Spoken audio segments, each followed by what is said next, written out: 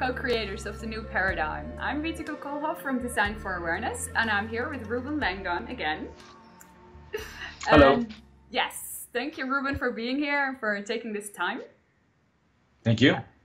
Uh, and we're going to talk about um, hybrid children, uh, as this is well part of the whole uh, multidimensionality um, exploration that we're both uh, doing, making, experiencing, and um, well, we wanted to exchange our thoughts and questions on this topic. So, Reuben. Yeah, yeah, I'll, I'll, I'll jump in here. So, I mean, in our Yeah. interview with with Arjun and yourself, uh, we do touch on this briefly, and as I mentioned in the last video, uh, we did a session uh, where sort of like a healing session, and you were able to help me reconnect with with uh, hybrid children that I've had experiences with Yes. in the past. So, Yes. um, but I guess I kind of wanted to spend the time to really focus Yeah. on this on this uh, topic in this video, Mhm. uh, and maybe cover some some ground that that's not in the other uh, Right. interviews, Yes. and uh, specifically from your perspective, Mhm. being part of these programs, Uh-huh. uh, being a female. Yeah. Because I think the I think the experience for from a male's perspective uh, might be a bit different Mhm. and um, and yeah, let's go from there. So eh, so first, really quick, for those who may not be familiar with Yes. the programs, let's just do a quick uh, intro Yes. from your perspective. Why don't you tell us what what is the hybridization programs? What Ooh. are the hybridization programs? In And- 20 words or less. uh, let's see if I can uh, give a short introduction to that idea. Um, so, um, as we've gotten to understand throughout our own journeys, and um, as, for me as well as a channeler uh, from the race that I'm actually speaking with, uh, which are the Yahyel, they are a hybrid uh, race.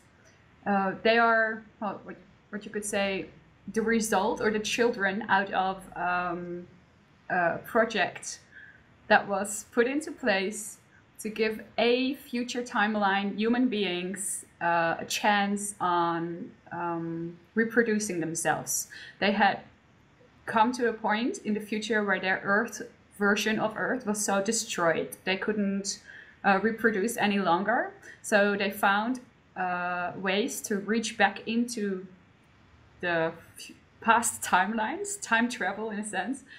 and this Uh, future this future version Yeah. is the zeta, the zeta reticuli Yes, beings, they've, right? This they've become known as the Zeta, Zeta Reticuli, uh, the Greys. The uh, Greys, yeah. Commonly called the Greys. And um, so in visitations between about 1950s and 2008-ish, as long uh, as I understand this, um, Mm-hmm. Is where they were interacting with us, human beings, from this time frame to Mhm. um, make five, create five hybrid races, mixes between human and Zeta Greys, um, resulting in, uh, well, these five, and the third being the Sasani, and the fifth being the Yahyel. right, and we don't um, we don't have names for the others yet. Don't no, we? they have they've deliberately chosen to not introduce themselves by Right. name yet, but they will play a role later down the line in the contact with Earth. Uh, They're not they're not gonna Well- necessarily stay in the background because they are actually also present in some healings. They do Okay. come by. They just don't want to be labeled yet. I see. well, uh, Bridget in her work, she's mentioned the Shikani. Now, is that is that just another name for the Sasani? It is the Sasani, but they have indeed, and she's right, moved on to another level, another dimension, and they are now the Shakani because they've moved to a Oh. next dimension. I So- see. So that's what the I wasn't familiar with what the Shikani was. So that the Sasani sort of elevated into another uh, density.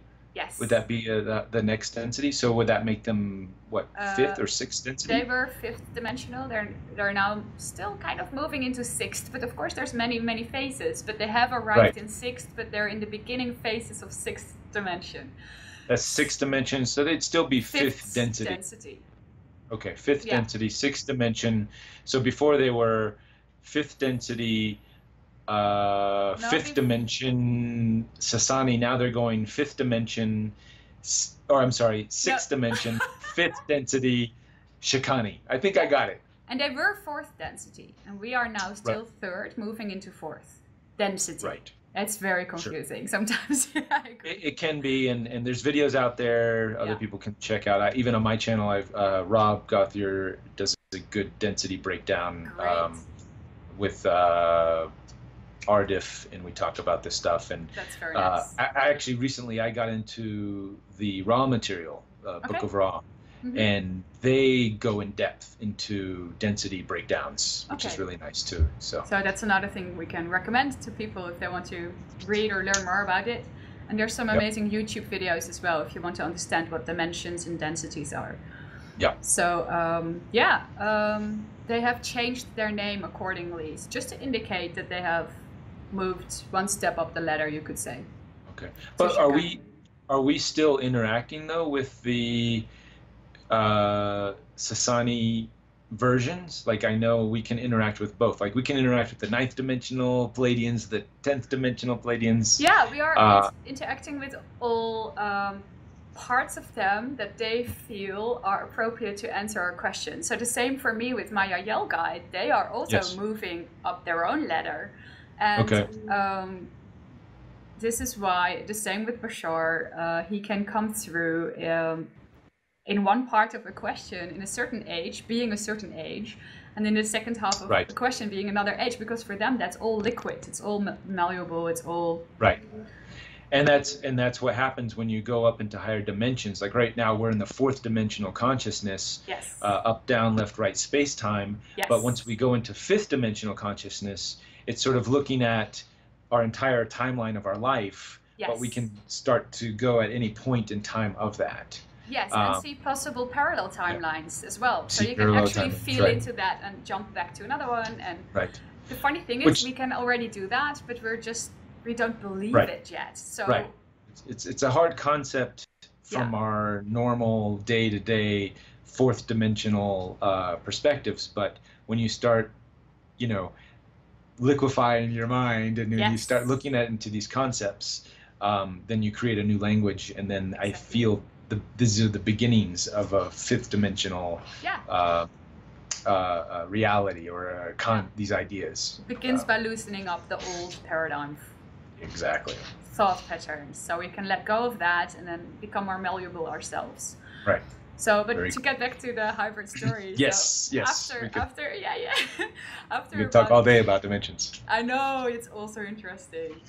Um, after 2008-ish, around and about, as far as I understand this storyline, um, this is where uh, the hybridization program kind of changed uh, now it's more um, that the children that are being uh, created between ETs, several races, by the way, not just the Greys, and human beings.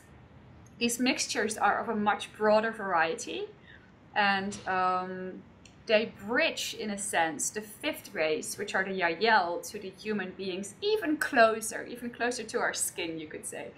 Um, but also in many more colors, much much more rainbow-like. So these mm-hmm. children are the very, very first um, introducers of the sixth hybrid race, which eventually okay. our whole planet will be. So we're moving there as a human race. We are, we're already hybrids. Everybody is a hybrid. You, me, everybody already is. We have star elements in our genetics. Uh, but these children carry a frequency, um, and it's that hybridization program that most of the young messengers on YouTube are talking about when we are um, introducing people to their hybrid children. And of course, sometimes there can still be um, Sasani or Yahyel or the number uh, one, two, or four from this little mm-hmm. row in there. But if you have more recent, um, uh, how do you say, experiences with that, mm-hmm. then they are the sixth hybrid race. First, the first ones of the sixth hybrid race. Right. So to give give sort of a context, um, could we could we use the beginning of humanity uh, as we know it? You know, from the Neanderthal man uh, or being being injected with a uh, with the Homo sapien DNA uh, sort of mixture and and yeah. what do you think happened at that time? Do you think there was uh, a similar situation? Do you think that the same thing happened to the human race with the introduction of maybe some hybrid children, uh, mating with the Neanderthals? Uh, when I say hybrid, obviously they wouldn't be children at that stage. But do you think they took Neanderthal DNA, created hybrids, and then uh, and then I guess at that point Homo sapien um, hybrid version. Oh, did we stop? Okay, no. stop for a second. Um, oh. Hybrid, hybrid. I mean, maybe there's something you could ask Arjun next time. Yeah. Is uh, did that same the same process that we're going through right now to create the six hybrid race, new human humans, right? Homo galactus, as as Bashar says. did that happen in a similar circumstance in a sim- similar setting uh, with Neanderthal human um, uh, evolution. As I understand that so far, yeah. uh, that's very. It seems very different to me, at least. Oh, okay. Because okay. the gotcha. the Anunnaki came and they just needed a worker race in that moment, but there mm-hmm. wasn't that. It wasn't that just clear cut like that either. You know how many people go into defense mechanism right. about oh, oh they they abused us. This is like we, we were made a right. slave race, blah blah blah. Right, and right. that's that's very victim mentality. But actually, um, I understand. Even though they saw the Anu as their gods in a sense, mm. they did have friendly relationships and apparently even yeah. relationships, love relationships. So yeah. there was a lot of stuff. Yeah. It was more um, my my interview with Sasha, which I just put out on my series, uh, she, she, actually we actually talk about this. Okay, great. Uh, about that it's it wasn't all negative, you know, yeah. slave race stuff. That there oh, was that different Somebody else different also got that. yeah, different different facets to it, and we just yes. happened to project and focus on that one story within the bigger story yeah. of of the the Anunnaki. Um, yeah story, right? But but the biggest difference, I would say, from my perspective, is that this time we asked for it. There wasn't asking. Like our planet right now is asking for this sixth hybrid race. We may not mm. be consciously aware of it, but since right. we are um, raising our frequency as a planet, uh, mm-hmm. and from our hearts, like like you said in our earlier short video, um, mm uh, the extraterrestrials have something that you could call an in, intention radar. So they're right. reading our intentions and mm-hmm. down in the bottom of our hearts. So many people are wishing for peace and balance mm-hmm. and love to reign the earth. And mm-hmm. um, this is what they're bringing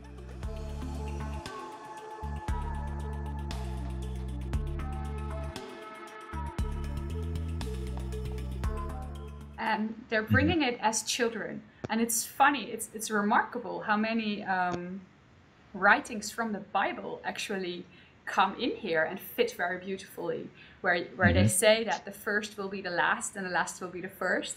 Because these mm-hmm. children are going to come to our planet to teach adults to be children again. So, right, that we, right, right. so that we remember how to play and how to be in our hearts. So it's from mm. that wish, as I understand it, that this hybridization program is even allowed to be taking place.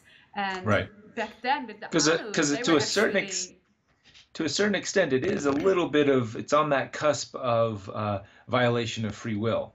Um, even though on a soul level, it's our contract. You know, yeah. we had this, but yeah. in this reality, there is that perception of violation of free will, which you know the Confederation, the uh, the the Council of Worlds have sort of poo-pooed, right? You know, they we, they can't interact. They can't violate the, the the the prime directive in Star Trek. You can't violate uh, uh, the free will. So it's right on that cusp. It's a very dangerous line.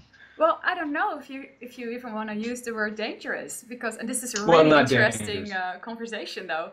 But uh, yeah. lo- I love that you bring that up because probably mm-hmm. a lot of people do have that question. Um, mm-hmm. but I think um, there is violation. In, in, in maybe not violate, infringe may be the better word uh, okay. to, and even that word is still tricky. But um, uh, I know f- from reading the Ra material now and from you know all these interviews, the the free will uh, is is number one, right? That's that's like Yeah. the number one, the number one. there. That's like even before love, right? Love comes after free will to a certain extent. Free will is the number one uh, um, choice given in our in, in in in the incarnation of all that there is, right? This this this idea, this choice.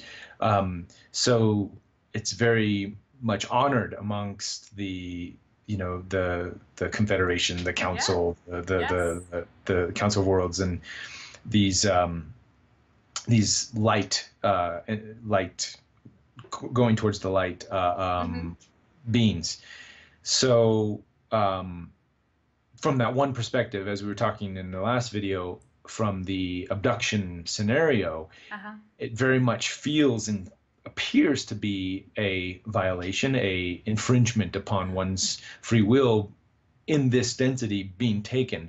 But from then the from the rational other mind, you, you're gonna have Right. to add that always. from yeah. the rational mind, And from this yes, perspective, and then on a the higher perspective, though, you you know your subconscious, your higher self has actually asked for this because it's for the betterment of the evolution of all of humanity and like Yeah. you said this this this call this this yearning this desire to evolve and and, and in this way to is really what's creating this the Yes. hybrid children uh, effect Yeah.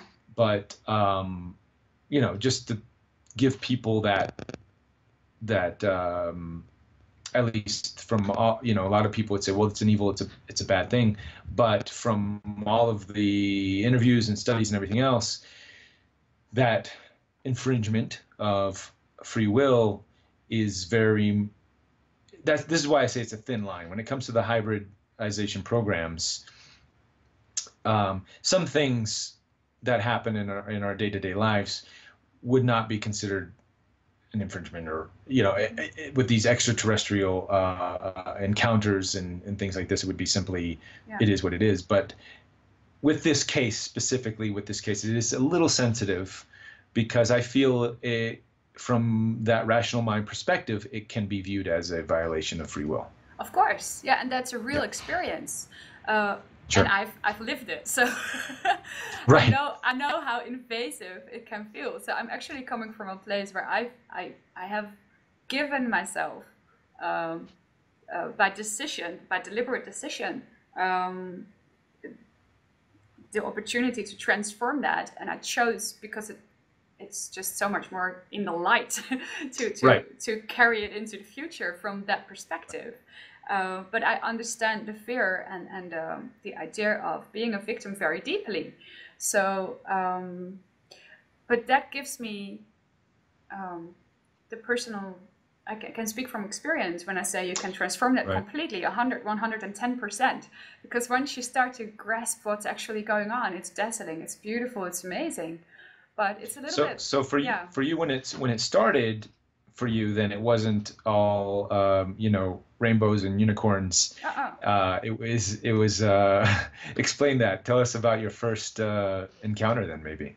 Well, the visitations that I had as a child kind of were a mix between getting lessons and really beautiful insights and being checked checked physically in a sense there was like um, doctor stuff going on that I totally didn't get and mm-hmm. and I was terrified of needles and things like that. And it was just oh i see. you know so and i felt that i was drowning a lot. I was super afraid of water for a really really long time because they put you okay so back then i have to be really careful with my words here because again this this whole project has changed tremendously over the years. And i'm a younger generation and i'm not one of the people that had their uh, experiences back in the 50s or the 60s when it was a lot more rough. So I, I didn't come from that generation. And i have a lot of respect for these people and the, the, the frequency of the earth was different. So they, they must have had much more trouble uh, regaining the memories and understanding it from a higher level. Yeah. I think right now we're very blessed with the information that's out there and we can share and understand. Also, I, I understand that I have chosen on a soul level as well to not understand it in the beginning, but to have very early childhood memories. Because I mm-hmm. wanted to be awake very soon.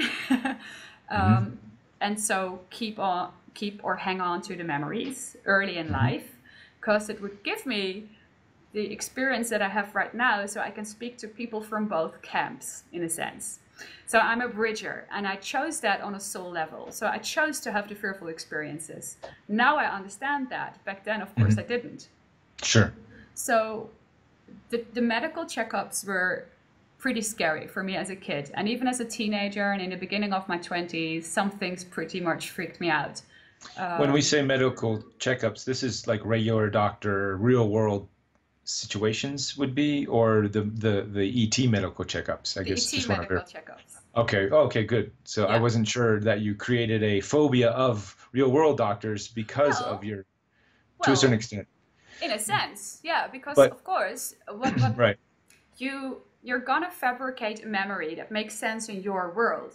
So right. when somebody says, "I was laying on this metal table and they're doing these experiments on me," part of your mind is just making up that storyline and making it look like that because to you it was very uncomfortable but you may not mm-hmm. even have been on a metal table at all oh right so okay. there is this and you see needles but maybe they mm-hmm. didn't use needles so it's also a translation right. gap between yeah. that dimension and ours yeah um, and the fear for water was i perceived that i was being put underwater but i could breathe right. there so right. it wasn't it wasn't killing it was, me, but it was. Right.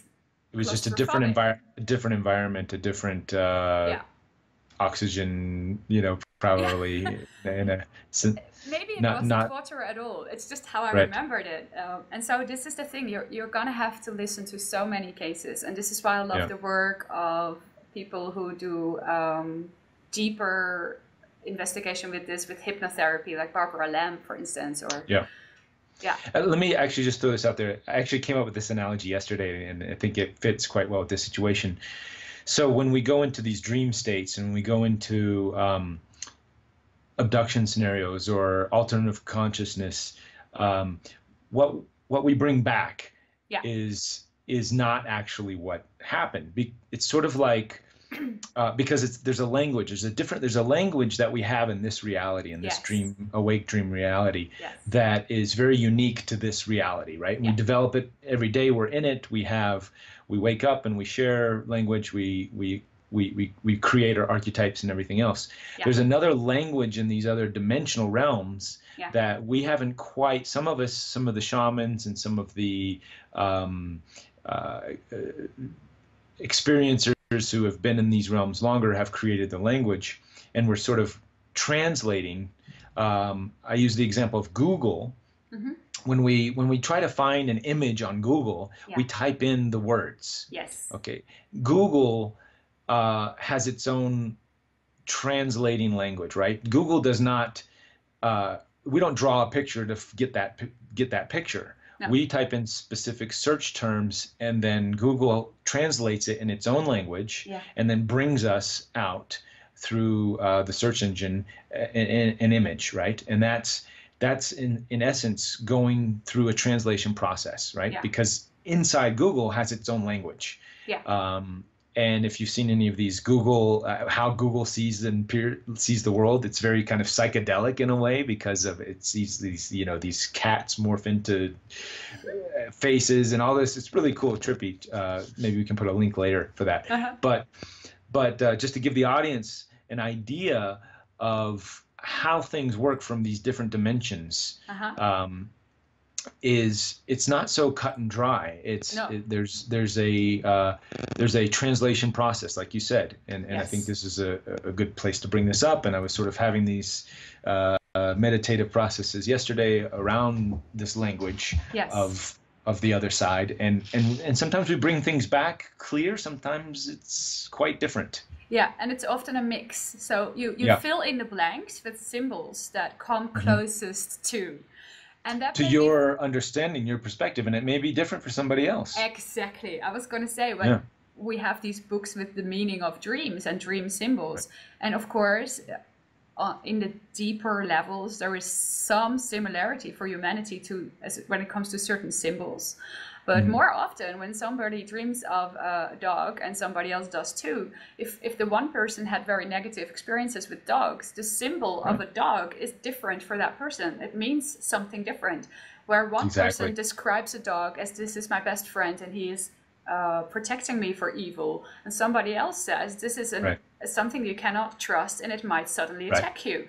I mean, this Exactly. is how different we are, and you're going to have to look at a case by case basis. And the same with the um, um abduction uh, scenarios and Right, right. everything that happened there. And I just got to see both sides of the mirror because at some point I understood I'm being given very loving messages, but the, the things that are happening to my body are so weird and I don't understand that. And it did make Right. me um, reluctant to actually go see a doctor or, or have Mm-hmm. vaccination. But guess what? I don't really resonate with that anyway, because the old paradigm system Sure. of medical healthcare, funnily enough, is something I went through for a little bit in my life and um, with my own physical challenge at some point, which was a major wake up call and a beautiful uh, spiritual transformation for me. Um, and that actually taught me that we can heal ourselves. So you can see how that these childhood memories and the resistance against the old system made me into a person that wants to double check stuff and mm-hmm. look into things and be curious about herbal medicine. So mm-hmm. I went an entirely different direction, also thanks to the what you might call negative experiences. But Sure. everything eventually turned out to be a gift. Awesome, awesome, awesome. I know we're. I know it looks like I think because there's a, a number of other subjects I did want to go into, Yeah. um, and just to keep things short, why don't we Yes. uh, take a break and come back for Yes. uh, a- another session uh, about on this subject matter on the hybrids Yes. because we're going more in depth here and and and I think it's I think it's good though because it's going to give people uh, who are just coming into this information Yeah. a little more context and references and True. things like that. So Yes. let's let's take the time uh, and and go in depth uh, Yes. and and then we'll do another session Yes. after this. Great Awesome. idea. So thank you, Reuben, for your time, and thank you everyone for watching. We'll put some fun links below, maybe that Google one if we can find it, and um, you can look into this uh, a little bit more for yourself if you're curious. And who knows? See you in the next. Namaste. Namaste.